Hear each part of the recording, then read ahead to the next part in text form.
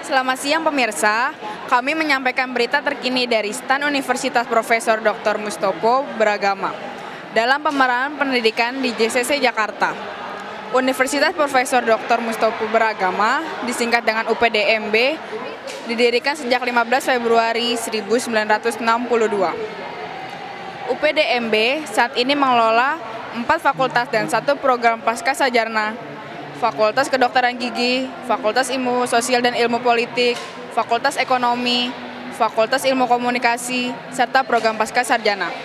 Hubungi kami di kampus 1, Jalan Hang Lakir 1 nomor 8, Jakarta Pusat, kampus 2 Jalan Bintaro Permai Raya 3, Jakarta Selatan.